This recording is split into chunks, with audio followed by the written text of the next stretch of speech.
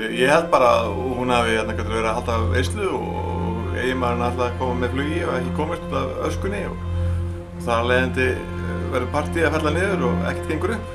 Hún er, hún er að hlaupa að fossinum því hún þarf að tala við vætti fossins því hún glemdi að fá samþykki þeirra fyrir ráðahagnum.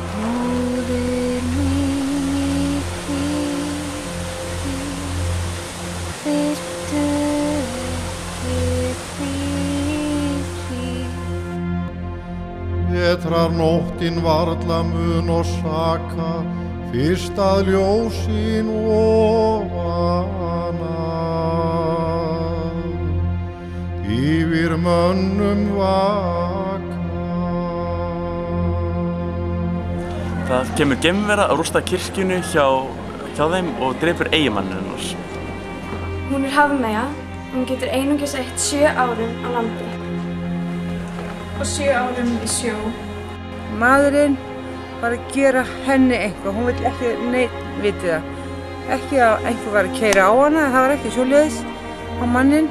Það er, þú veist, bara mjög augljóst af því að hún var á túr og mamma hennar dó og hún týndi kettinu sínum og það var bara allir að gleða hann.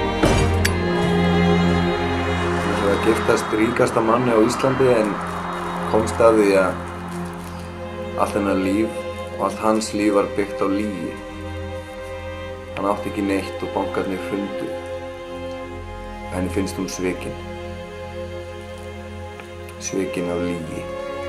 hún, nei, hann svaf, nei, hún svaf hjá besta, besta vini hans sem sagt, deginum að fyrir brúðkaupið og þarna, og hann finnur út, kemst að því en hún elskar hann ennþá og hún vill giftast hann og þarna, en hann hljóp úr brúðkaupinu Ég trú því að þau hafa verið á leiðinni giftingu og uh, það hafi komið þoka og í þokunni leynist höldufólk og höldufólki hafi tekið burtu eigimannin þokan hafi reynsast til og þá var hann horfinn þess vegna grænum